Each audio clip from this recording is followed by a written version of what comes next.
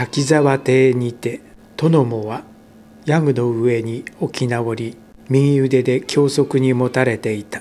十畳ほどのその座敷は寝間ではなく客との対談にも使っていると見え本床には書の大服がかけてあり香炉からは薄く煙が揺らめいていた。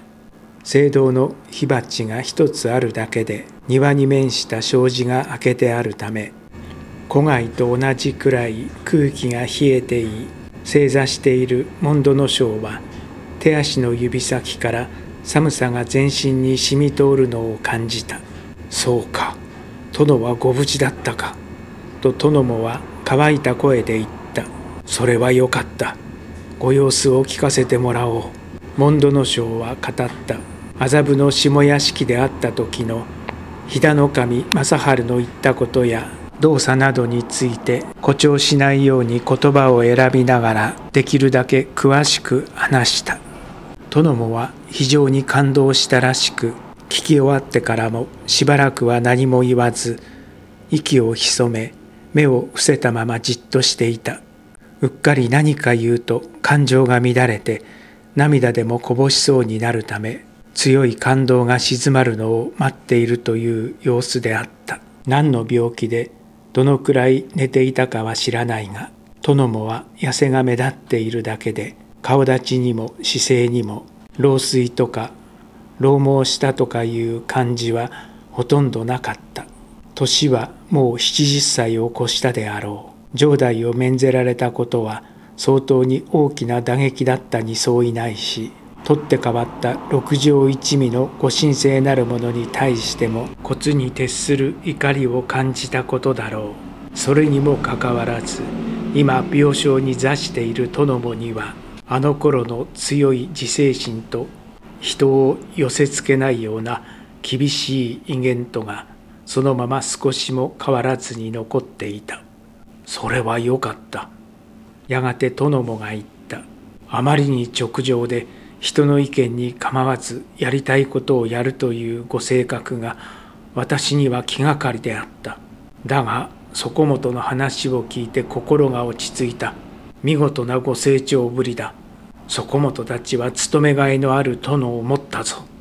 モンドノ将は抵当し改めて今日ここへ来た理由を聞いてもらいたいと言った。殿もはゆっくりと頭を振りそれは聞くまいと答えた。私はもう役には立たない。と殿もは感情のない声で言った。時代は終わった。あの園庭工事が始まった時、私はもう自分の時代の去ったことを知った。しかし、道の案内があれば、山へ登るのに不必要な危険を避けることができるのではありませんか。殿もは振り向き、鋭い目つきでモンドノ将の顔を見つめた。では危険を避けて楽に山へ登るつもりなのか。ことが多すぎるのです。それがどうした？とでも言いたげに殿もはきっと口を引き結んだ。ご神聖開廃にあたってはとモンドノ将は構わずに言った。順次に手をつけるのでなく全般にわたって同時に決行しなければならないのです。時代は変わったかもしれません。それはおっしゃる通りだといたしましょう。しかし、三代も続いてご城代を務めてこられたご経験が全て役に立たなくなったとお考えになったわけではないと存じます。殿もは引き結んだ口を少し緩め何か珍しいものでも見るような目つきでしばらくモンドノ将の表情を見守っていた。よし、と殿もは言った。私でお役に立つことがあったら答えよう。第一は何だ？万事屋の件です。桑島に対する処置を使えないか。お金御用商としての万事屋は、三井の筋を引いているばかりでなく、堂島からも資金が入っております。と、モンドノ将は言った。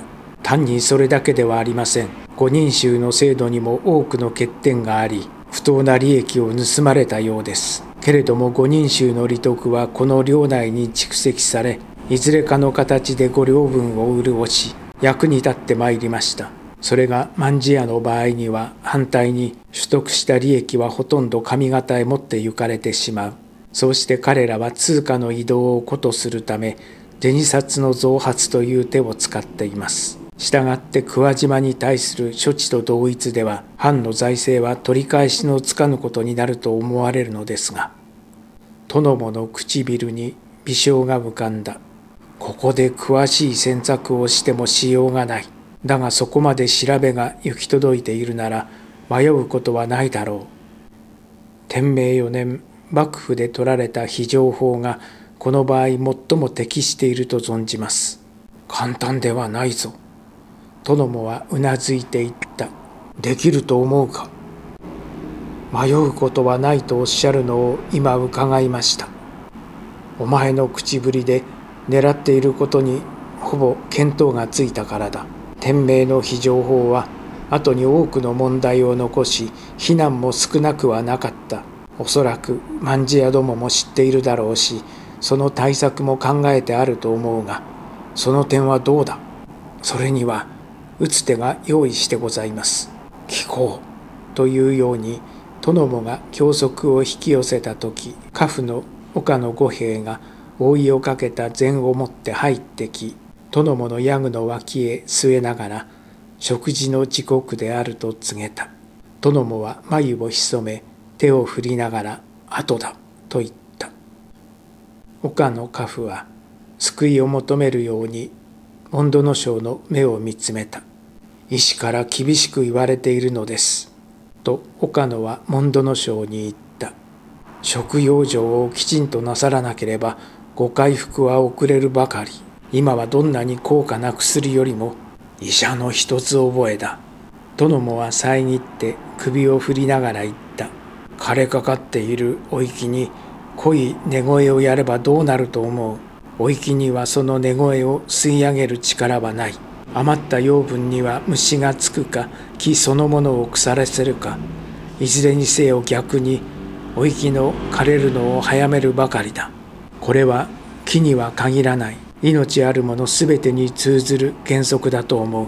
近頃新しがる医者の一部に老人ほど食事に厚みのものを取るがよい。それが体を若々しく保つ方だなどというものがある。しかし老体は老体であることが自然であり、厚みの食を取ることによって若々しさが保つとすれば、それは反自然であり、老体に鞭打つ結果になる。そこまで言って、殿もは右手を大きく左右に振った。バカバカしい。どうしてこんな話になったのだ。と言って殿もは廊下府に振り向いた。今大切な話をしているんだ。これは持って下がれ。モンドの将は取りなそうとしたが思いとどまり、岡の家父は落胆したように両肩を揺り上げた後、禅を持って去った。気にするな。と殿もが言った。いいから、後を聞こう。それから半時余り、モンドの将の言うことを殿もはよく聞き、熱心に意見を述べた。もう自分の時代は去ったという言葉や長い病画生活にもかかわらず殿もは藩の情勢もよく知っていたし問題に対する判断も正確であり立派な見識のあるものであった。この人は少しも条件に左右されてはいない。六条一味によって城代を免ぜられたが城代家老としての人間を変えることはできなかった。もちろん異例ではないだろうが70歳を起こした年齢と今置かれている立場から考えるとやはり舌を巻かずにはいられなかった。あの人は今でも現役の城代家老だ。滝沢邸を辞して出ながらモンドの将は吐息をつきながらつぶやいた。枯れかけた老木に寝声を入れるな。老いることを自然に受け入れるがそれは肉体のことで精神的には無関係なのだ。それをあの人は現実に見せてくれたのだ。